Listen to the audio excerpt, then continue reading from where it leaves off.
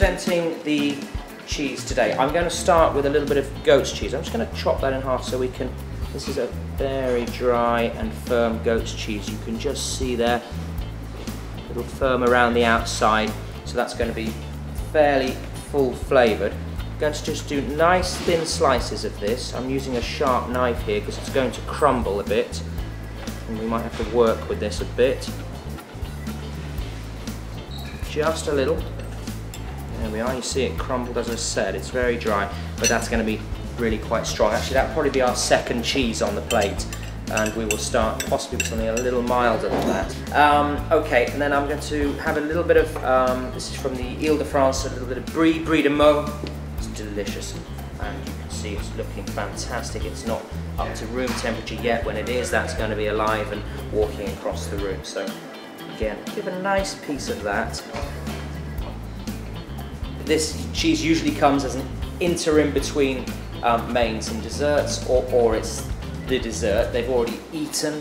It's about savouring the flavours and enjoying the flavours um, at the end of the meal. So we don't need a massive amount. And, and we're always the same with our guests. If they want a bit more of something, have a bit more. So there we are. We're going to start with the um, Brie de Meaux, then onto the Lingot Géant. Um, and then I'm going to go on to one of the hard cheeses. So today I've got two hard cheeses.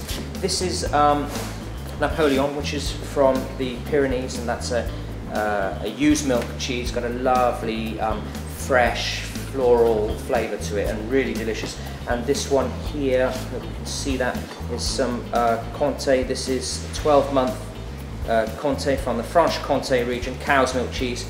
Um, and got a fantastic nuttiness. Now with this style of cheese, I love to cut it way, as thin as I can get it, wafer thin. It's going to um, flake a bit. They don't have to be accurate um, slices.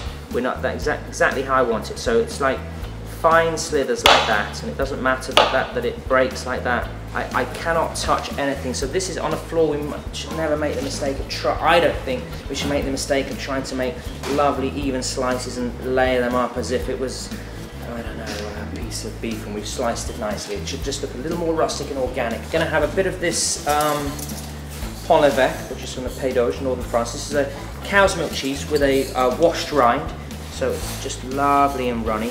And I, with these washed rind cheeses, I think the best way to serve is just to take a spoon out and just, just leave it like that. And then finally, we're going to end with a little Roquefort here from Aquitaine in the southwest of France. I love Roquefort, it's a classic blue cheese. So I'm going to just do a nice slither there.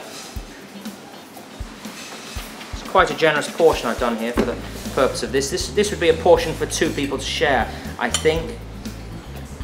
So there we are, just simple, simply presented, so going from the milder working way around to the um, fuller flavoured cheese. And that's how we do cheese at Les Deux Salons.